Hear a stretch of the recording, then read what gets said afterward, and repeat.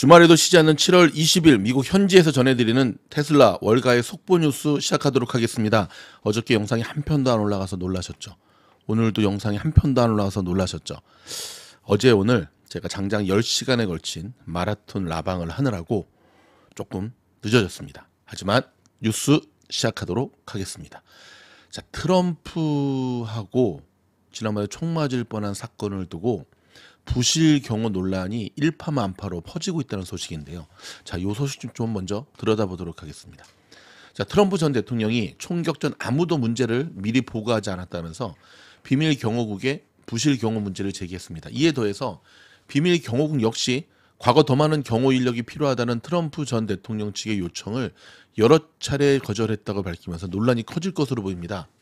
자, 트럼프 전 대통령은 폭스뉴스와 팍스뉴스와 인터뷰에서 사건이 발생했던 펜실베니아 유세 행사와 관련해 사전에 아무도 문제가 있다고 말하지 않았다고 밝혔습니다. 이는 당국이 사건 발생 62분 전 총격범 토마스 매슈 크룩스를 요주의 인물로 요주의 인물로 지목한 뒤에도 트럼프 전 대통령 측에 이 사실을 전달하지 않은 것을 겨냥한 발언인데요. 당시 비밀 경호국 저격수들도 크룩스가 범행을 저지르기 전에 그가 지붕에 올라간 사실을 파악했지만 별다른 대처를 하지 않은 것으로 전해졌습니다. 이에 트럼프 전 대통령은 어떻게 그 건물 지붕에 사람이 올라갈 수 있고 보고되지 않을 수 있느냐며 그건 실수였다고 생각한다 강조했습니다. 그러면서 그는 만약 지붕에 사람이 있다는 사실이 통보됐으면 15분이나 20분 기다릴 수 있었다면서 아무도 내게 말해주지 않았다고 말했습니다. 이처럼 트럼프 전 대통령마저 경호 실패론에 가세한, 가세한 가운데 비밀 경호국도 트럼프 전 대통령 측의 추가 경호 인력과 자원 등을 거절해 왔다고 시인했습니다. 자, 앤서니 굴리에리 비밀 경호국 공보실장은 이날 뉴욕 타임스에 성명을 내면서 비밀 경호국이 때때로 제한된 자원으로 트럼프 전 대통령 측의 요청을 거부해 왔다고 밝혔습니다. 비밀 경호국이 역동적이고 위협적인 상황에서 일하고 있다면서 추가 자원을 제공할 수 없는 경우 주당국 또는 지역 자산을 통해 경호 인력을 보충하거나 경호 계획을 변경해 트럼프 전 대통령이 노출되는 상황을 줄였다고 설명을 했습니다. 이는 트럼프 전 대통령이 총격 직후 비밀 경호국이 부실 경호 논란과 관련해 내놓은 해명과 반대되는 내용이라 파장이 클 것으로 예상된다고 뉴욕타임스는 진단을 했죠. 앞서 굴레이미 실장은 총격 다음 날인 지난 13일 트럼프 전 대통령 측이 추가 인력을 요청했지만 거절당했다는 주장은 사실이 아니다라고 말한 바 있습니다. 자, 알레한드르 마요르카스 국가안보부 장관도 자신이 관련 요청을 거절했다는 주장은 근거가 없고 무책임한 발언이며 명백한 거짓이다라고 해명하기도 했는데요. 한편 공화당에서는 경호 책임론을 경호 실패론을 꺼내며 킴벌리 치틀 비밀 경호국 국장의 사퇴를 촉구하고 있고요. 이에 치틀 국장은 모든 책임은 나에게 있다고 경호 실패를 이 시인하면서도 사임 가능성을 일축했습니다. 미국 하원 감독 위원회는 이와 관련해 오는 22일 청문회를 열어 치틀 국장의 증언을 청취할 예정이라고 전했습니다. 한국이나 미국이나 책임지지 않는 것은 똑같네요. 자, 지금 주말에 트럼프 관련 기사들이 계속해서 올라오고 있거든요. 예를 들어서 트럼프가 북한의 김정은에게 양키스 야구 경기 같이 보지 않을래? 라고 제안을 했다는 것. 또 트럼프가 펠로시 바이든에게 개처럼 했다. 또 독설을 퍼부었고요. 자, 트럼프가 입술을 내밀자 키스를 피한 멜라니아. 또 불화설이 모락모락모락모락 피고 있고요. 트럼프 측은 벌써 해리스를 공격 중인데 여전히 민주당은 헤매고 있고요. 트럼프의 재선을 염두에 두고 젤렌스키가 러시아와 협상 의향을 밝히고 있고요. 자, 온통 트럼프 이야기인데요. 자, 바이든이 사퇴하기를 은근 사퇴하지 않기를 은근히 바라는 트럼프 캠프 측은 일단 한편으로 해리스를 겨냥한 광고를 준비 중에 있다라고 밝히고 있습니다. 자, 며칠 전에 있었던 마이크로소프트 크라우드스트라이크의 이, 이 클라우드 쪽 대란이 지금 일어나서 미국 현지에서는 지금 발칵 뒤집혔거든요. 특별히 항공, 공항 측이 직격탄을 맞은 상황인데요. 자, 이런 가운데도 중국과 러시아는 거의 영향을 받지 않은 것으로 나타났습니다. 양국 모두 서방 등 어, 미국 등 서방의 제재를 받으면서 마소와 같은 글로벌 서비스에서 배제됐기 때문으로 보고가 되고 있는데요. 자, 홍콩의 사우스 차이나 모닝 포스트지에 따르면 IT 대란에도 불구하고 베이징과 상하이 국제공항을 포함한 항공사, 은행 등 중국의 주요 인프라가 중단 없이 정상 운영됐다고 밝혔습니다. 중국 정부가 외국 기술에서 벗어나 기술 자립 자강을 추구하는 이유를 추가했다고 평가했는데요. 중국은 마소에 클라우드 보안 서비스를 제공하는 크라우드 스트라이크와 같은 외국 기업의 서비스에 대한 의존도가 낮아서 이번 대란과 무죄 무관했다고 분석을 했습니다. 자, 미국은 중국의 기술 발전 억제를 위한 최첨단 반도체 수출을 통제하는 등 각종 제재를 가하고 있죠. 실제 어, 크라우드 스트라이크 웹사이트에 따르면 크라우드 스트라이크는 중국 제품과 서비스를 중국의 제품과 서비스를 판매하지 않는다고 밝히고 있습니다. 여러분 지금 미국 현지에서는 정치와 금리 인하를 둘러싼 불확실성이 점점 짙어지면서 자, 헤지 펀드들이 금 강세 베팅을 계속해서 하고 나오, 나오고 있는데요. 자, 금의 강세 베팅이 4년 만에 최고 수준으로 치솟고 있습니다. 자, 블룸버그가 인용한 상품거래위원회의 주간 데이터에 따르면 헤지 펀드를 비롯한 대형 투기 자금의 금 순매수 포지션은 16일 기준으로 4년 만에 최대치로 늘었는데요. 블룸버그에 따르면 투기 자본은 정치와 경제 불확실성이 커지면서 금을 해치 수단으로 자주 사용한다며 지난주 금은 온수당 2,500달러에 근접해 사상 최고치를 경신했습니다. 자, 연준이 추가 완화에 나설 것이라는 베팅이 늘고 트럼프 대통령 어, 트럼프 전 대통령의 공화당 대선 후보가 무역 전쟁을 유발할 발언을 내놓으면서 지정학적 리스크가 커지면서 투기 세력은 금을 피난처로 여겼다고 블룸버그는 설명을 했습니다. 자, 지금 일본이 트럼프의 줄대느라고 비상이 걸렸습니다. 근데 일본뿐만 아니라 세계 각국이 지금 촉각을 곤두세우고 있죠. 특별히 유럽 쪽은 야 트럼프 됐으면 또 이제 또 어떻게 한다냐라는 지금 얘기들이 계속 흘러나오고 있는데요.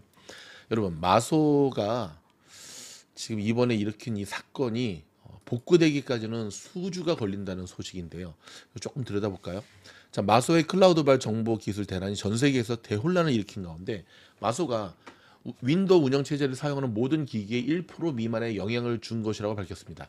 자, 이번 글로벌 IT 대란은 마소의 클라우드 보안 서비스를 제공하는 크라우드 스트라이크의 업데이트가 마소의 운영 체제와 충돌하면서 차질을 빚은 것으로 알려졌습니다. 이날 MS 블로그에 따르면 크라우드 스트라이크의 업데이트는 전체 윈도우 기기의 1% 미만인 850만 개의 윈도우 기기에 영향을 미친 것으로 추정한다고 밝혔습니다. 마소는 그 비율은 작았지만 광범위한 경제적 사회적 충격은 주요 서비스를 운영하는 기업들이 크라우드 스트라이크를 사용하는 있음을 반영한다고 설명을 했는데요.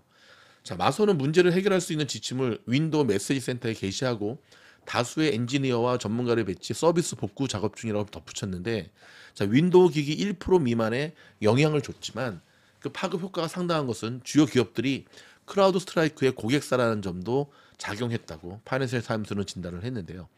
자, 크라우드 스트라이크에 따르면 2023년 말 기준 고객사는 2만 9천 곳이 넘으며 포천 500 대기업 중 절반 이상이 크라우드 스트라이크의 소프트웨어를 사용하고 있다고 밝혔습니다. 전문가들은 크라우드 스트라이크가 사이버 공격을 막는 최일선 역할을 한다는 명성을 감안할 때 이번 사태는 다소 충격적이라고 짚었습니다. 자, ID, IT 컨설, 컨설팅 업체인 가트너의 맥도널드 맥도널드 애널리스트는 컴퓨터를 보호하도록 만들어진 유명한 업체가 오히려 컴퓨터들을 고장낸 것은 이번이 처음이라고 지적을 했고요. 이번 사태로 자 마소 OS를 사용하는 기기들은 일명 죽음의 blue screen 오류가 발생하면서 먹통이 됐습니다. 여러분 이미 뉴스를 통해 전해 들으셨죠. 타임스퀘어가 멈추질 않나, 비행기들이 멈춰가지고 수기로 비행권을 작성하질 않나. 자 우려가 좀 현실로 다가오고 있거든요. 마치 여러분 예전에 그 프린터 따로 스캐너 따로 복사기 따로 있던 시절이어서 하나의 그 올인원 프린터가 나왔을 초창기에 문제들이 참 많았거든요. 왜냐면 하나 고장 나면 다 고장 나니까. 하지만 그런 시행착오의 과정을 거치면서 결국은 지금은 이제 올인원 프린터가 대세가 되었지만요. 자, 클라우드를 사용하다가 다시금 돌아갈 수는 없습니다. 클라우드 쪽은 계속 가야만 되는데 이런 큰 문제들이 계속 발생을 하면 다시금 원점에서부터 다시 검토를 해봐야겠죠. 자, 크라우드 스트라이크, 사이버 보안은 참 좋은 기업인데 어쩌다가 이런 일을 경험하게 됐는지 참 안타깝습니다. 이제 이번 사건으로 인해서 여러분 뉴스 들으셨겠지만 테슬라가 금요일 날 어, 폭락한 데에도 한 일조를 했거든요. 트럼프가 한마디에서 뒤통수 친 것, 그 다음에 이날 바로 이 클라우드 쪽이 멈춰서 버리면서 테슬라도 공장이 중단돼 가지고 직원들을 일찍 퇴근시킬 수밖에 없는 상황이었다고 합니다. 근데 이제 문제는 뭐냐면 바로 복구가 힘드니까 이 어려운 문제들이 계속해서 이어진다는 데 있죠. 자, 테슬라에 대한 원인 분석 영상 다음 주 화요일이 또 earning이잖아요. 그렇죠? 앞두고 저희가 특별 영상 준비했으니까 곧 올려 드리도록 하겠습니다. 자 워런 버핏의 버크셔 해서웨이가 14억 달러 규모의 Bank of America 미국의 대표적인 은행이죠. 매각했다고 발표했습니다. 밝혀했습니다. 이야 이거 좀 심상치 않네요. 자, 미국 행동주의 헤지펀드인 엘리엇 매니지먼트사가 세계 최대 커피 체인점인 스타벅스의 지분을 확보하기 위해서 주가 부양책을 주문한 것으로 전해졌습니다. 자, 글로벌 IT 대란에 비트코인은 오히려 6만 7천 달러를 돌파하면서 5% 이상 상승하고 있는데요. 자, 요 소식 좀 전해드리도록 하겠습니다.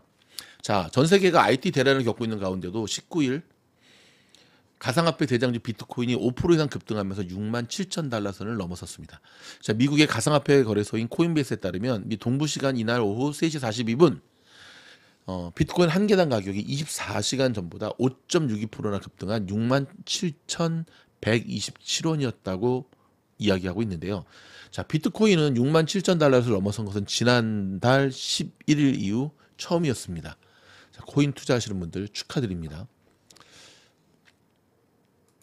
자, 미주노래 종목 추천과 매수 매도 타점 교육은 반복적으로 계속 이루어지고 있습니다. 지금 오른쪽에 보시는 이 배너. 자, 최근에도 계속해서 저희 미주노래 구독자, 멤버십 가입자가 꾸준히 늘고 있다라고 하는 것은 요즘같이 변동성 장세가 심한 때 가장 효과적임은 기법임을 증명해주고 있습니다. 자, 여러분. 지금 분위기가 조금 이상하게 돌아가는데요. 일단 어, 버크셔 해서웨이, 워런 버핏, 어, 자 이런 가운데 버크셔 해서웨이 버핏의 14억 달러 규모의 Bank of America 주식을 매각했다는 소식입니다. 자 여러분 이렇게 거물들이 어떤 주식을 살 때는 따라 사면 안 되는데 저들이 대량으로 주식을 매도할 때는 맞습니다. 그때는 보조를 맞추는 것도 좋은 투자법 중에 하나입니다. 자 여러분 지금 보고 계시는 화면은 테슬라의 그 스페이스 X의 사진이죠. 엊그제 같은데 벌써 굉장한 시간이 흘렀습니다. 여러분 점점 개미들이 음, 대처하기 힘든 시장으로 다가오고 있습니다. 결국 주식은 대응인데 대응이 쉽지 않으면 우리는 투자는 망할 수밖에 없는 거죠. 대응하는 법을 가르쳐드리는 미주널 멤버십으로 오시고요. 여러분 저희 영상이 도움이 됐다 한다면 좋아요, 구독, 알림 눌러주시면 계속해서 새로운 뉴스들을 신속한 속, 속보 뉴스로 전해드리도록 하겠습니다. 자, 고맙습니다.